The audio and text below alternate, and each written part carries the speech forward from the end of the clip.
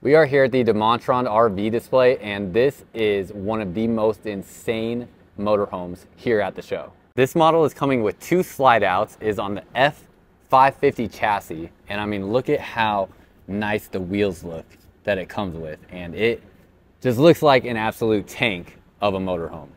And as we go inside, really nice color scheme in here that kind of feels like you're heading for the mountains in my opinion. Two nice recliner seats. You're gonna have a retractable TV that comes up next to the dinette table here. Nice solid surface countertops. You have a nice bathroom space with room to walk all the way back into your shower. Residential size refrigerator. Babe, what are those pantries there? Two pull out pantry spaces.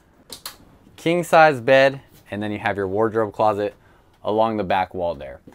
All solid hardwood finishing in here and just looks absolutely beautiful. And of course, bunk over the driver's cab area